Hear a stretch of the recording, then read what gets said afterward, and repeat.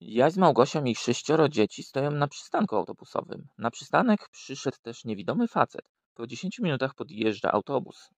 Okazuje się, że jest tylko siedem wolnych miejsc w autobusie. Tak więc wsiadła tylko Małgosia z dziećmi, a Jaś z niewidomym mężczyzną poszli piechotą. Po kilku kilometrach drogi Jasia zaczął wkurzać dźwięk stukania laski i mówi do faceta. Nie może pan na koniec laski nałożyć kawałka gumki?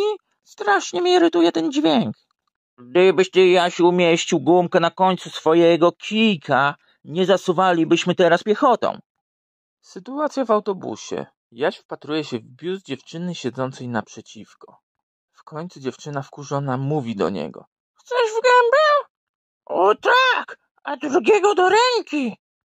Wycieczka do zakładu psychiatrycznego. Jaś podchodzi do ordynatora i pyta. Jakie stosujecie kryteria, aby zdecydować, że dana osoba nadaje się do zamknięcia w zakładzie? Napełniamy wannę wodą i dajemy tej osobie łyżkę, kubek i wiadro, aby opróżniła wannę. Aha, rozumiem. Normalna osoba wybrałaby wiadro, bo jest największe. Nie, normalna osoba wyciągnęłaby korek z wanny. Jasiu, chcesz pokój z widokiem czy bez? Jasiu mówi do Stasia. Małgosia została dżokejką i występuje na zawodach w skokach przez przeszkody. I zaczęła mi wmawiać, że ma konia dżentelmena. Koń był tak dobrze wychowany, że przed każdą przeszkodą przepuszczał ją pierwszą. Chodzi wkurzony niedźwiedź po lesie. To choinkę złamie, to kamień kopnie, to pogoni wilka. Ogólnie mocno wściekły, chodzi i gada do siebie. Po cholerę piłem tą kawę we wrześniu.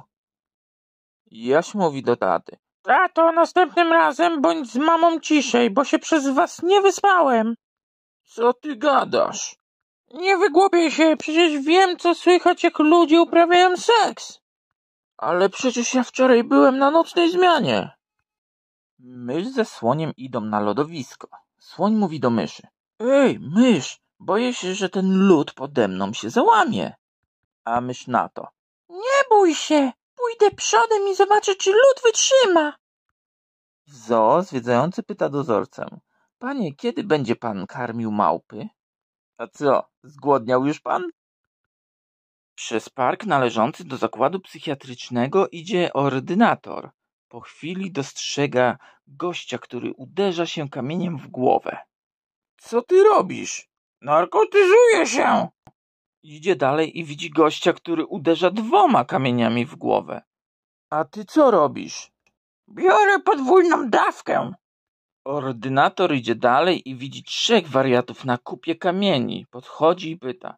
A wy co tu robicie? Sprzedajemy narkotyki.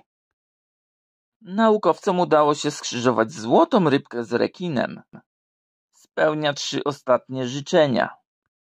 Jaś opowiada Stasiowi. Gdy Małgosia urodziła, spytałem lekarza, kiedy będziemy mogli uprawiać seks.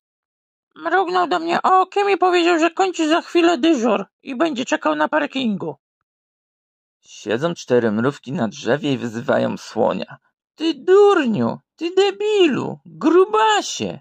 Słoń się wkurzył i kopnął w drzewo, aż jedna mrówka spadła mu na kark.